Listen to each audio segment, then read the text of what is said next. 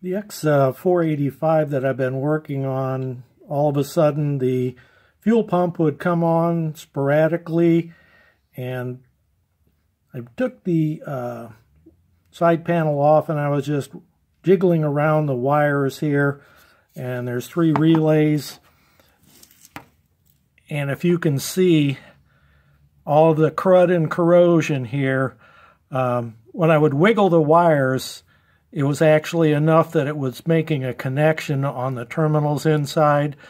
So I'm about 90% sure this is going to take care of the problem, but it's just something that old connectors, you need to take them apart, put them back together, flush them out with uh, contact cleaner, and then I put some WD-40 on there, which it's going to help clean and lubricate the contacts, slide it in and off a couple times.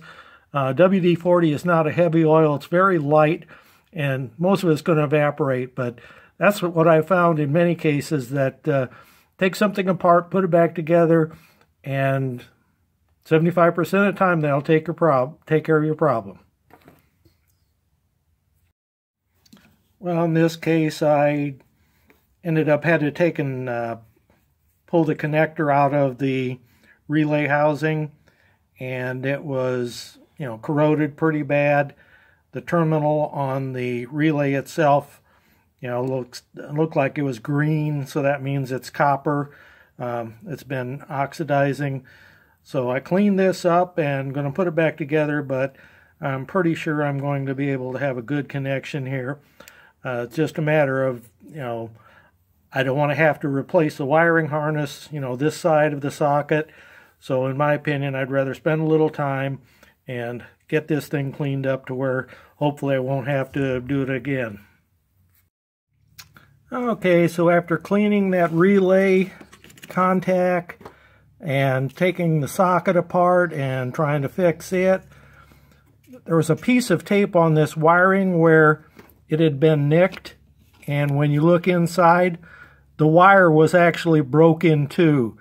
So what it was doing when the wire would jiggle, the two pieces would touch, and that's not something that's good. This was on the bottom of the relay, and it had rubbed against the frame and might have got pinched by the side panel, but you know, after spending about a half hour on it and taking everything apart, uh, I finally figured out what the problem was, and I've had more problems on this tractor with wiring being pinched and grounded and broken. Uh, so this is nothing new, but hopefully I'm going to put this back together and that'll be the end of it.